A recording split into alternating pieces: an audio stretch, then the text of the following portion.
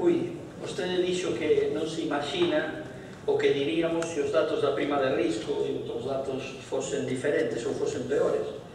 E eu recordeime doutra cuestión en relación con eso. Non quero imaginar o que dirían vostedes se estivesen na oposición e os datos da débeda de Galicia fosen os que hoxe son e os datos de desemprego fosen os que hoxe son. Non quero imaginar porque lembrome o que decían no ano 2009 na campaña electoral dos datos do desemprego.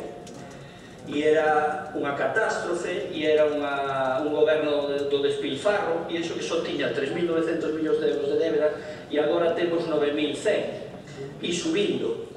Entón non me quero imaginar o que dirían vostedes. Despois tamén citou eh, datos sobre a evolución da pobreza. Eh, entendílle que era eh, no período 2006-2011 e a que atribúe esa evolución deses datos. Se de 2000, 2006 a 2011 puido citar datos máis recentes pero 2006 a 2011 algo tenía que ver a inercia dos anos anteriores e dos gobernos anteriores porque vostedes chegan en 2009 cita hasta 2011 pois non sei quen ten o mérito. Pero o que sí que sabemos son os resultados que se están a decir os datos de pobreza en 2013 e en 2014. E o que nos di é que está subindo a poboación que está en risco de exclusión social e que hoxe neste país hai 650.000 persoas en risco de exclusión social. E esos son datos eh, actuais, señor Puy. E falaba a conselleira de que é fundamental que non haxa descontrol, descontrol das contas públicas. E pasar en cinco anos dunha débeda de 3.900 millóns de euros a 9.100 non é descontrol, señora conselleira. Pasar de 150.000 desempregados a 270.000 non é descontrol, señora conselleira. É que dedicar ao, ser, ao pago do servizo da débeda no ano 2014 2.000 millóns de euros non é un descontrol, señora conselleira. É que os datos da débeda do Estado español que xa sobrepasa o 100% do PIB, non é descontrol, señora conselleira. Vostedes queren vender rigor a base de repetir, pero os datos o que nos indican é que verdadeiramente o que vostedes eh, están a facer é fomentar este descontrol que vostedes eh, din que é eh, eh, o contrario do que queren facer. Ben, a evolución, vostede fala de evolución e de, da saída da, da crise, o cambio de tendencia, etc. Mire, eh, comparando a porcentaxe de variación 2014-2013 entre Galiza e a media do Estado, nos ingresos e gastos das diferentes comunidades autónomas, hai uns datos que son reveladores.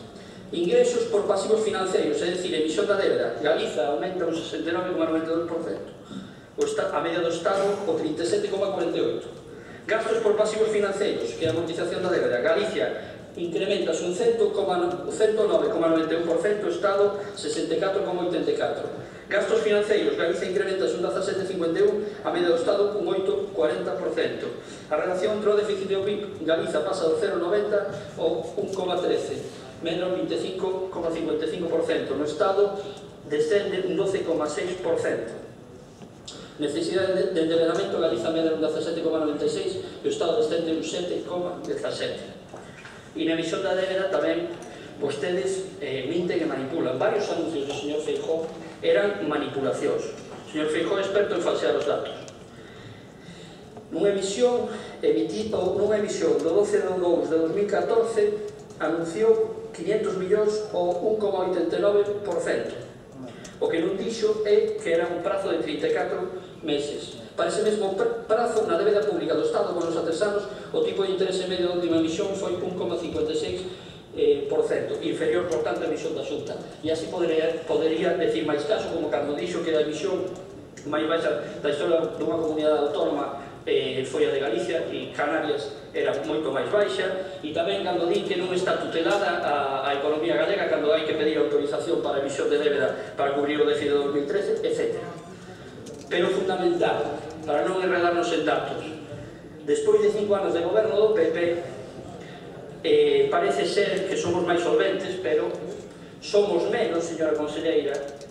De, nestes cinco anos, de media, cada ano perdemos 10.000 habitantes. E ese é un dato dramático que vostede non citou. 10.000 habitantes menos cada un dos anos que vostedes gobernaron. Somos menos, hai máis desempregados, os traballos son máis precarios e medra a porcentaxe de traballadores pobres emigramos máis. Máis de 100.000 mozos e mozas de 18 a 35 anos emigraron desde o ano 2010. Recortas en dereitos sociais mentras incrementan os beneficios das empresas e os salarios dos directivos. E estes datos son provocados polas políticas austericidas que vostede ven aquí a defender. Nada máis e moitas gracias.